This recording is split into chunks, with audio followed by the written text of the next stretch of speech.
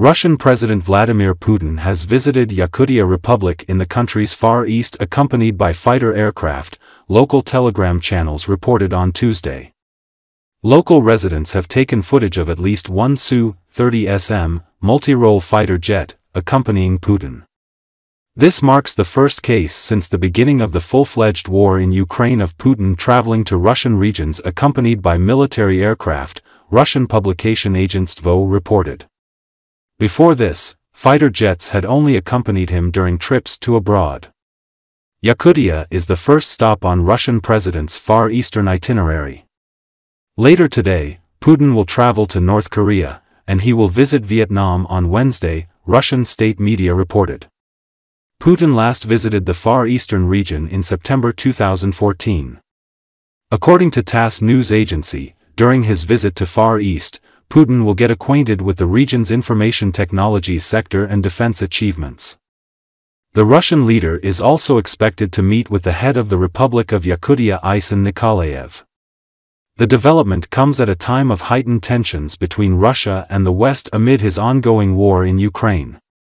It should be noted that Su-30SM aircraft was developed by JSC Sukhoi Design Bureau for the Russian Air Force, and had its maiden flight in 2012.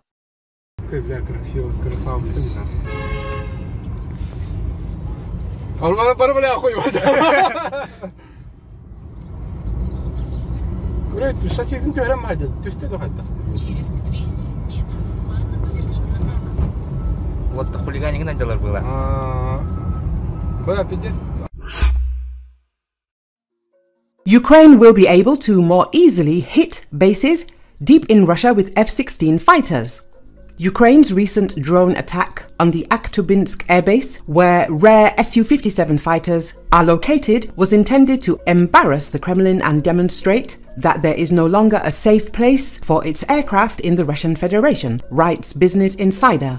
Ukraine now appears to be systematically attacking air bases with drones, much as it used US made long range HIMARS guided missiles to dismantle Russian logistics and command networks in 2022, the article said. It notes that one interesting question is why the drones were not neutralized by Russian jamming capabilities.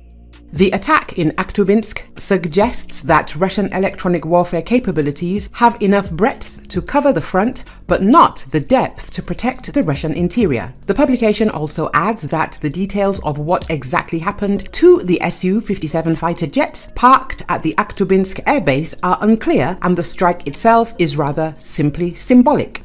Russia has about a dozen Su 57s, which are Moscow's answer to the US F 22 and F 35 stealth fighters. Like Russia's vaunted T 14 Armata, the Su 57 did not see action in the war in Ukraine. This reflects a fear of embarrassment over the loss of modern weapons and perhaps a lack of confidence that the capabilities of these weapons will not live up to the rhetoric. It is indicated that the greatest damage to Ukraine is now being caused by Russian Su 34 and Su 35, which dropped a huge number of glide bombs. Stealth fighters are not needed for Russia's stealth strategy. Destroy Ukrainian defenses with glide bombs, then send in poorly trained infantry to clean up. It's a crude and expensive approach that has nonetheless allowed Russia to capture some small swathes of territory, writes Business Insider. According to the author, in order to drive Russian aviation deep into the rear, cheap drones can become an even better option for the US force of the Ukrainian armed forces than F 16 fighters. Let us recall that it was previously reported that on June the 8th,